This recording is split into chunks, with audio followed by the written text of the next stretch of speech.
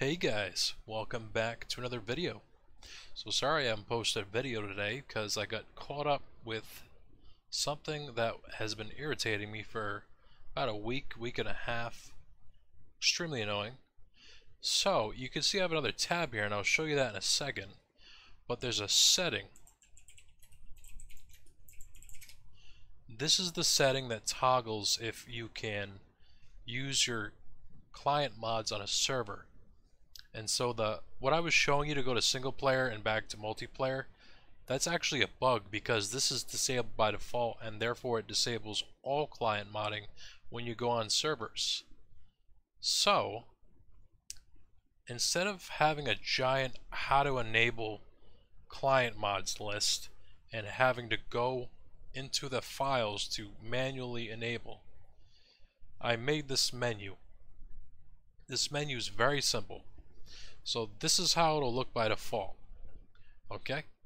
So even if you tick this button to go to the crafter client, I'm just using my game as an example. So you can see I can go in here, but I can't run. My character will change states because that's how I uh, set it in the new player, whatever it's called, player API files. Um, but you can see probably here I'm double tapping no running. Uh, it's actually snowing or raining out right now. I can't see weather. So let's just go back to the main menu and uh, we'll enable client modding and just go back in. That works great.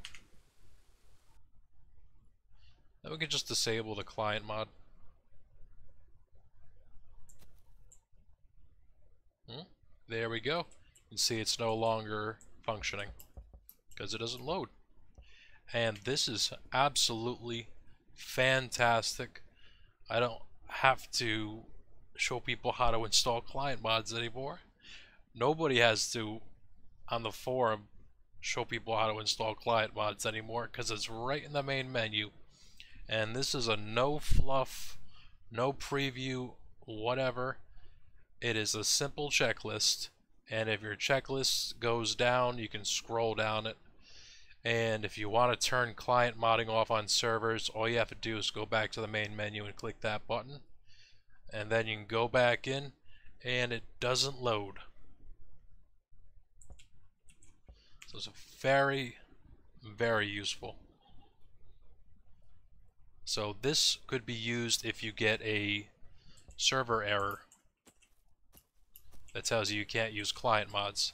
And you can see I can run now, my FOV changes, I can see the rain. It's, this is absolutely fantastic. I am absolutely going to keep this in my game even if this doesn't get merged. I'll uh, have a link to the PR in the description. You can take that code and put it into your game and it makes life so much easier. Uh, so now I can actually mess around with other people's client mods and see how they work without having to go through the um, the configuration file because even at the main menu if we go to client mods and let me go to here I have a test mod which has nothing in it. So you're ready? So it's still there. And now it's not. So if I go back and I undo that it will be there again. And let me see if I can show you guys this. Here's the mods.configuration file. I got too much stuff open.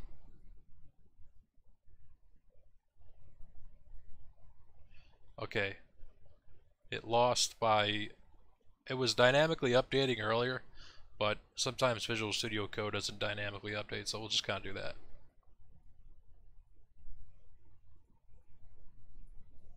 Can see it is happening dynamically. And this is a manual overwrite because if you want to delete a file like that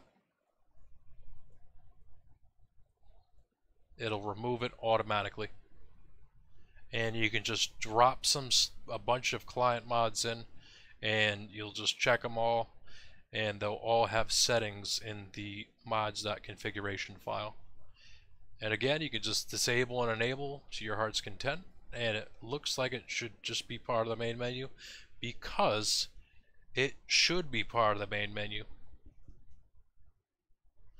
And um, Lone Wolf, sorry, I, I am I have just processed so much data I can't even think anymore. But Lone Wolf suggests that I put it in here, but I'm like, if it's unsupported, I guarantee that the core developers are not going to support that because having CSM be able to dynamically download, um, people go through the online repository thing and just click a whole bunch of stuff, and somebody could sneak in something. So with this, you have to manually add it in still, the file into the folder, or the, uh, the folder into the folder, but now you don't have to go through all those menus and that configuration file and all that other stuff.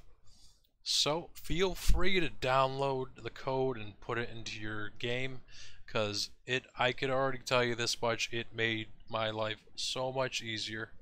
Oh my goodness. Well, I hope you guys like this. I'll see you in the next video and peace out.